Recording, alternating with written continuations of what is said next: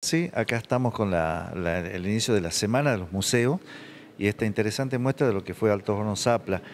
Esta semana es a nivel nacional y bueno, el Palpalá no podía quedar afuera, así que bueno, hoy iniciamos la muestra si bien Palpalá no tiene una sala, pero no quería dejar pasar esta oportunidad de mostrar todos los recuerdos y, añoranzas que hay de, lo que fue la importancia de Zapla para nuestra ciudad, ¿no? Sí, así Iván, y por eso nosotros queremos invitar, quiero hacer la invitación para todo el público, a partir de las, de las 8 de la mañana hasta las 20, estamos acá con la muestra, hasta el día viernes.